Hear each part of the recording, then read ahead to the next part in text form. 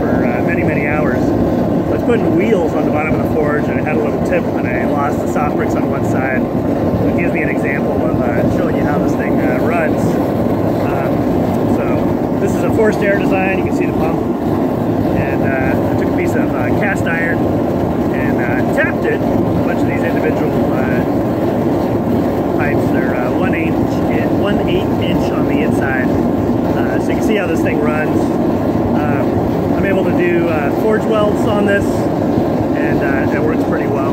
And so uh, these little uh, refractory uh, caulk at the top there uh, to go ahead and seal it, and uh, soft bricks on the side. And I'll show you this back when it's all back together so you can see how it works. Anyway, so there you go.